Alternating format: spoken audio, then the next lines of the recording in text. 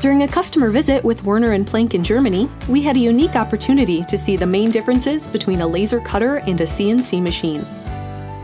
Here's a translated version of our interview with Werner and Plank director Roland Plank. We are one of the leading manufacturers of illuminated advertising equipment throughout Europe. Our 155 employees' daily tasks are to produce specific customer requests.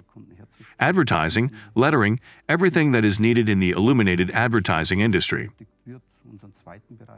In our second division, we make housings for well known machine builders. Until 2016, we got along very well with the milling machines.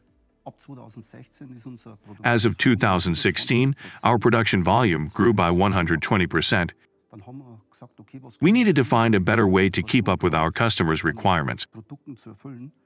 That's what led us to the SP3000, because it can offer a lot of solutions that a milling machine can't really cover.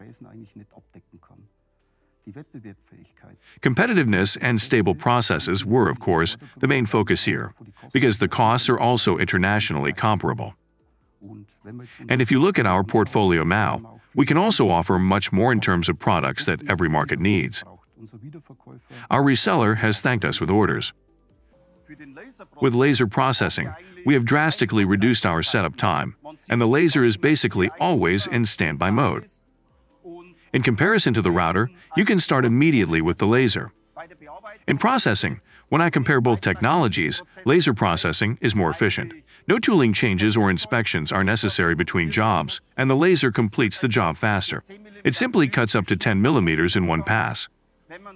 Also, we save approximately 50% of processing time with laser technology. We completed the same job on the CNC and on the SP2000 laser cutter and found that the laser could not only cut twice as fast, but we saved even more time because there were fewer process steps and overall process was more streamlined.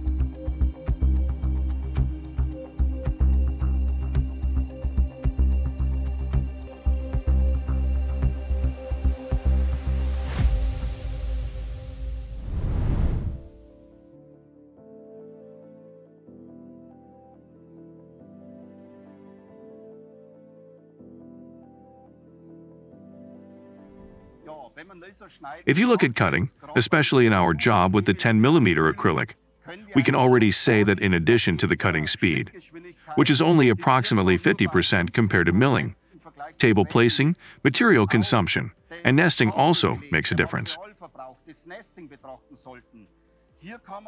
Here you can see that I have to keep about this distance when milling. And when laser cutting I can actually go up to 4 millimeters, closer together in the gap dimension.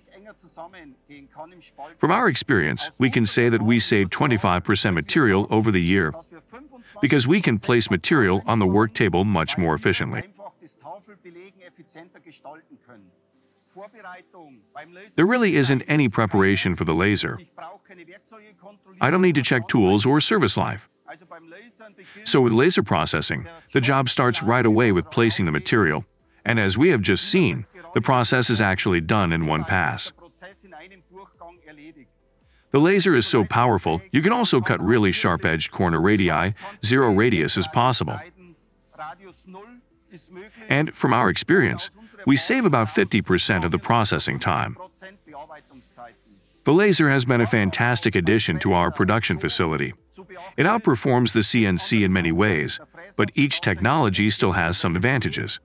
For example, we still use a milling machine for creating grooves required for certain jobs. But by using the technologies together, we have been able to optimize our production and make the most of our equipment investments. Thank you for watching. To learn more about Trotec's large format laser cutting systems, visit troteclaser.com.